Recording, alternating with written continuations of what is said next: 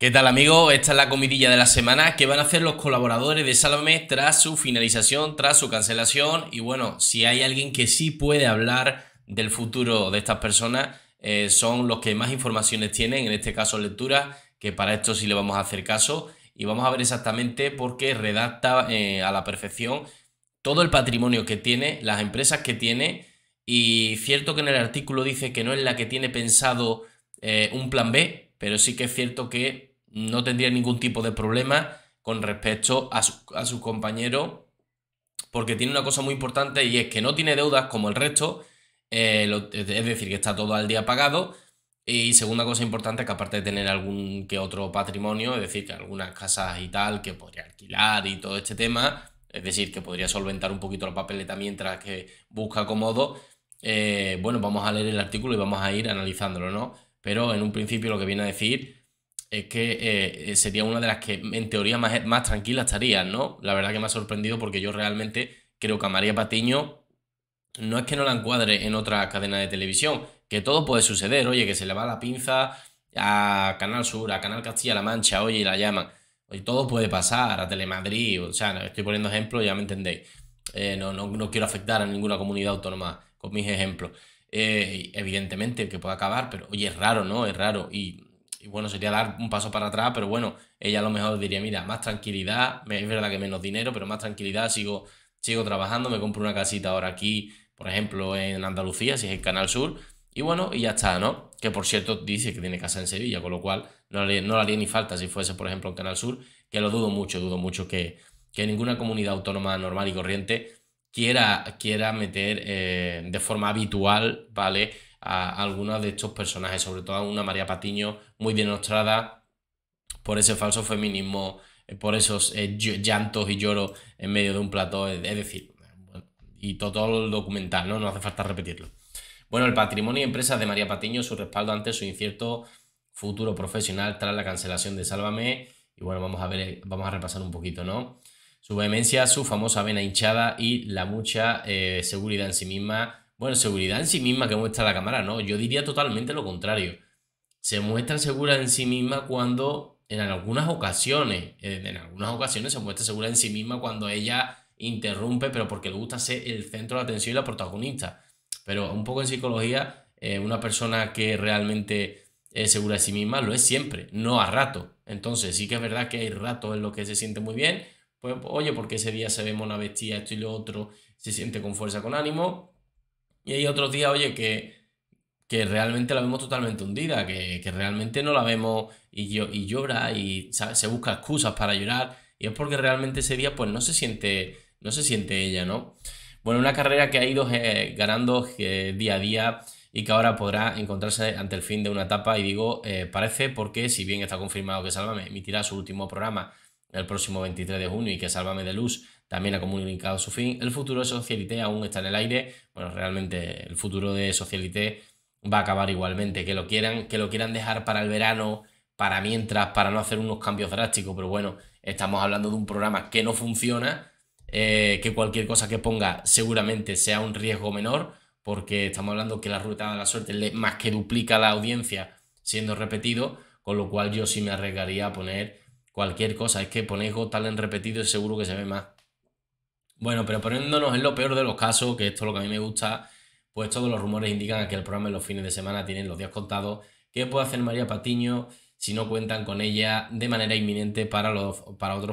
¿Le perjudicará mucho dejar de facturar los ingresos con los que hasta ahora contaba mes a mes para sus colaboraciones televisivas? En realidad es un dato que solo ella sabe al 100%, pero lectura puede confirmar que no es ni mucho menos de las menos perjudicadas con el fin del espacio de Sálvame, ¿no? Bueno, María Patiño sin plan B. Eh, en su caso, lo que podría suponer un problema es que durante los años que se lleva centrada en la televisión no ha hecho otras cosas, es decir, que no tiene ese plan B que estábamos hablando. Por ejemplo, Gemma López, su fiel amiga y compañera, tiene una tienda de ropa y ha dedicado mucho esfuerzo a las redes sociales, es decir, ella tiene un plan B en la cual entre la tienda y las redes sociales, evidentemente ahora con todo el tiempo del mundo, puede dedicarse a eh, fomentar más la tienda, a crear una franquicia, que no sé si la tiene, insisto, no sé si tiene una tienda o puede crear una franquicia a nivel nacional o a nivel de comunidad autónoma para ir creciendo poco a poco y abrir varias tiendas. eh, a lo que le conllevaría más, más ingresos si le fuera bien. Y con respecto a redes sociales, pues más de lo mismo. Si al final, en vez de subir una publicación al día, sube 3, 4, pues porque puedes hacerlo, porque tienes más tiempo, evidentemente tendrá más ingresos y sustituirá un poco lo que ganaba en Sálvame, ¿no? Que sí, que la televisión se gana mucho, todo lo que queráis, pero bueno, yo creo que entre una cosa y la otra no, no tiene por qué eh, ser muy descabellado que pudiera Gemma López eh, no vivir de la televisión eh, si ella no quisiera, ¿no? Kiko Hernández ha invertido en el teatro y en inmuebles. Es verdad que en cuanto a inmuebles esto entiende bastante bien Kiko Hernández porque él, era inmobiliario y sabe perfectamente, es conocedor eh, porque le interesa ese tema de, los temas estos de las burbujas inmobiliarias, tal cual, cuándo comprar, cuándo vender, dónde comprar. O sea, esto es la perfección, sabe exactamente cómo hacerlo. Entonces, entiendo que si tiene 5, 6, 7 propiedades, no sé cuántas tendrá, un pisito aquí, un pisito allí, una casita allí y, ha comprado más que nada por invertir, os puedo asegurar que una persona que tenga 5 o 6 pisitos casitas, con eso, con eso, eh, alquilado, mm, alquilado si no las 5 o 6, nada más que 3 o 4, con eso puede sustentarse perfectamente. Otra cosa es que él quiere llevar el mismo tren de vida. Ahí estamos hablando de otra cosa, ¿vale? Eso sí que es verdad. El tema del teatro, bueno, yo eso lo descarto. El tema del teatro no creo que le esté dando para comer. Eh, a ver, no, no, no, no, le estará dando un gran sueldo, con lo cual con lo cual, bueno, es una ayudita para el tema de los inmuebles, pero más que nada sería para matar el tiempo y hacer algo distinto, ¿no? Para no estar en casa sin, sin más, ¿no? Bueno, Belén Esteban lleva dos años dedicando una parte de su tiempo a Sabores del Esteban. La empresa a través de la que comercializa su gazpacho y salmorejo. No sé tanto en cuanto esas empresas al llevar eh, su nombre, no sé cuánto le puede conllevar eh, en cuanto a beneficio, pero bueno, es un plan B, tiene algo ahí, ¿no? Desde hace tiempo. Bueno, María Patiño no se puede decir lo mismo, ella estudió periodismo, siempre ha sido su pasión y es en lo que tiene puesto todo su esfuerzo, pero esto jamás ha sido un plan B, por eso nunca jamás ha buscado un plan B, eh, que por otra parte quizás nunca lo necesite, pues el fin del programa solo es el fin de una etapa, la productora de la fábrica de la tele para la que ella continúa en activo y la cadena no ha dicho que no quiera contar con ella en ningún momento. A ver, eh, yo entiendo que la fábrica de la tele estará buscando otras cosas que hacer, ¿vale? De hecho, he visto que Antonio Flores ha puesto que se traspasa eh, la fábrica de la tele, ha puesto un icono porque irá, a hacer un, directo, me imagino, y ponía Radio Televisión Cataluña, ¿no? Radio Televisión Española de Cataluña. No sé yo si eso va, a ser así o es simplemente que es una especulación que él va a hacer en el directo. Sinceramente, no sé si tiene información. Vamos a ver exactamente de qué se trata. Pero bueno, eh, sea como fuere, si se va a Radio Televisión de Cataluña, hombre, yo creo que buena parte de los colaboradores harían un programita allí seguramente y se colocarían. Pero bueno, a lo mejor es una, es una premonición que tiene Antonio David y no, y no una información, ¿vale? Así que hasta que no lo veamos no podemos confirmarlo. Pero si la nueva oportunidad tarda en llegar, ¿cuál es la situación de la periodista? Lectura tiene algunos datos, ¿no? Y por eso digo que Lectura sí que es verdad que conoce perfectamente, es conocedora de, todos los que trabajan en Sálvame. Y, bueno, pues sí. El primero de ellos, muy halagador, María no tiene deudas, algo que no todos pueden presumir. Sabéis que Jorge Javier, Kiko Matamoro, muchos de ellos, pues han tenido deudas o tienen aún en activo deudas con la hacienda pública bastante grandes. Eh, también que sí con las parejas, bueno, Kiko Matamoro con Maco, que en fin, una serie de, de historias que al final eh, pues es verdad que si te quedas sin trabajo y encima tienes un problema añadido, ¿y ahora qué haces, no? En el caso de María Patiño, pues por lo visto no. Eh, tiene además una empresa a su nombre que, con domicilio social en Sevilla desde noviembre de 2003. La dio de alta cuando empezó a colaborar en televisión, pero después de esa forma de facturar pasó a no ser legal y la empresa dejó de registrar ingresos durante bastantes años, hasta 2018, año que comenzó a cobrar algunos trabajos publicitarios. Digamos que ella quería facturar de otra manera eh, con una empresa, eh, bueno, como autónoma, con, un nombre de una empresa con razón social en Sevilla, quiso cobrar por ahí eh, como sociedad para, digamos, como sociedad para, digamos, que le cobrasen menos impuestos. Le dijeron que eso no era legal, que tenía que facturar como una autónoma simple. Y, bueno, hasta 2018 que ya sí pudo, ya sí pudo hacerlo como influencer, ¿vale? Que esto que está hablando del tema de los de los trabajos publicitarios. Como influencers ya sí le han permitido eh, facturar eh, a nombre de esa sociedad, digamos, ¿no? En 2019, último año del que pueden consultar cuenta, presentó una facturación positiva de 51.129 euros.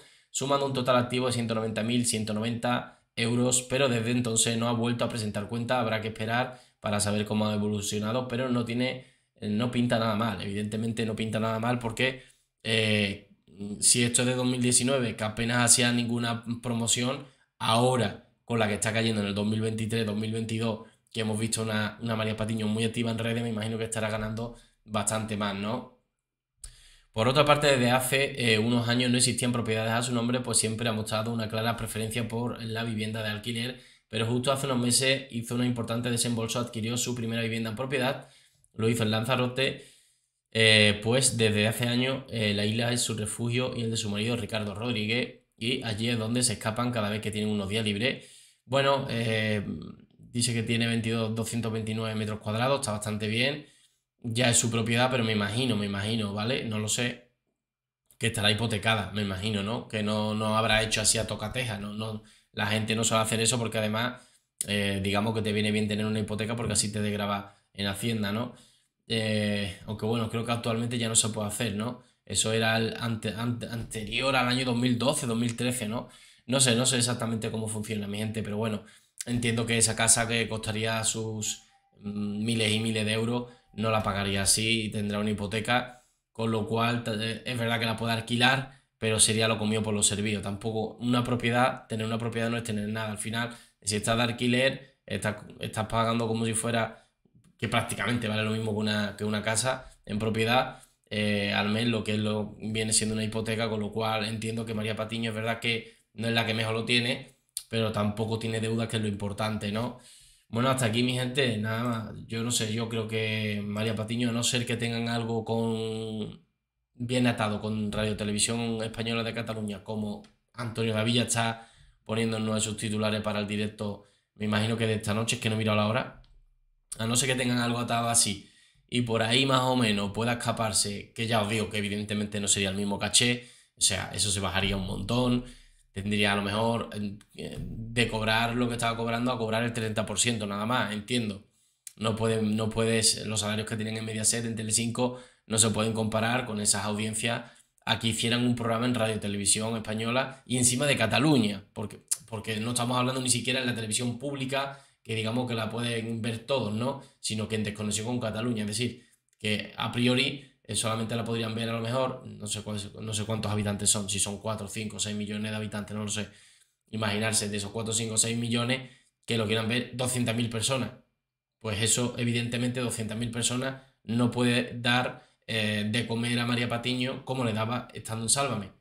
Que las opciones eran que cuarenta y tantos millones de españoles pues tenían opción de verlo y al final de los 46 millones tenían un milloncito. Pero con 200.000 espectadores no puedes estar cobrando 1000 euros por programa. Evidentemente, si te pagan 100 euros por programa, toca las palmas, ¿no? Bueno, mi gente, hasta aquí el vídeo. Me gustaría que dejaseis vuestro comentario. Como veis, el futuro de María Patiño. Un saludo.